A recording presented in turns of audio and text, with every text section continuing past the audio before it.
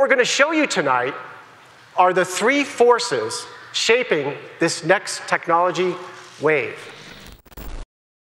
The first of those forces is what we called computing unleashed. Up until now, we've been limited to two dimensions with a keyboard and a mouse and a flat screen. That becomes unwired three dimensions. So I have a clip of this recipe to make wings. Play video. Mustard. Here. See, I was able to bring that recipe right in, right? And if I want to scroll to the end, I simply make that gesture, and it lets me scroll. You'll no longer be chained to your computer by wires. Using Intel's high-speed WiGig interface, I'm able to connect automatically to all my peripherals. You can actually just put it on the, wire, on the uh, table, and you can actually have it wirelessly charge for you, as you can see there.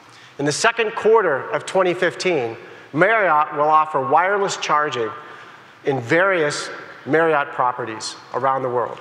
I'm pleased to announce that HP Multijet Fusion technology will be powered by Intel's Core i7 processor. We're working on an engineering project that will change your interaction with devices. Jonathan here is playing the piano on a virtual in-air keyboard. His hands are in mid-space, not touching anything. Intelligence everywhere. When everything can become smart and connected. This is Ava 500, our video collaboration robot with autonomous navigation uh, you can see a 3D image of what Ava sees using the 3D RealSense camera. Uh, the color represents the distance from the robot. If you move, we can see you move in 3D. The real leap forward that the industry has been waiting for is literally give drones sight to increase not only autonomy, but safety. We're going to play a little drone ping pong, simply moving the drone between us. You'll see it moving left to right, but not only is it moving left to right, it's having to move up and down as it avoids the obstacles that we've put in its place. Let the drone go home and we go ahead and open the doors. And then lastly, the wearable revolution. We knew we could make computers and compute even smaller, like the button on this jacket. I'd like to introduce you to Curie.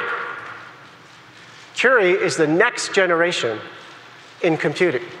This module contains a Quark SoC, Bluetooth low energy radio, sensors. It's power efficient, can run for extended periods of time from a coin-sized battery or a rechargeable battery. A dedicated sensor hub processor and pattern classification engine that allows it to identify different sporting activities. Curie is really meant to be a platform. It will be available second half of 2015. With this product, they can deliver, deliver wearables in a range of form factors. Rings, bags, bracelets, pendants, and yes, even the buttons on our jackets.